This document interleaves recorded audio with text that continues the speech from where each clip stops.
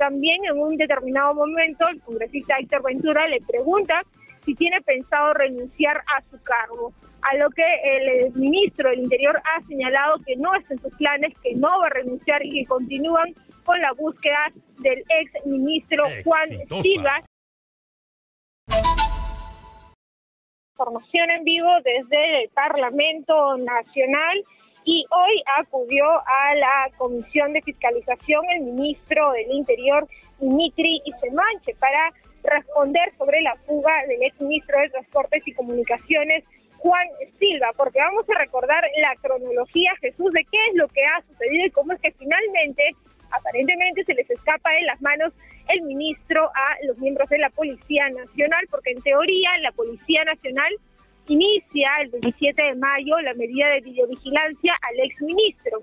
Sin embargo, precisan que no daban con su ubicación exacta, pese a que el primero de junio Silva dio entrevistas en diversos medios de comunicación, entre ellos Exitosa, y siguiendo con la, con la, cronología, el 4 de junio, el Poder Judicial dicta su impedimento de salida del país.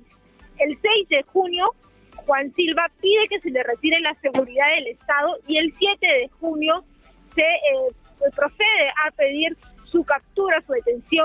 preliminar.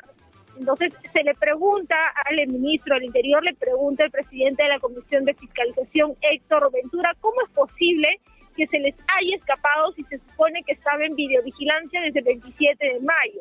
Y lo que ha referido el ministro del Interior, Jesús, es que es responsabilidad del Ministerio Público porque no les eh, hubo una falta de comunicación, una descoordinación, un desatiempo en este caso con el Ministerio del Interior.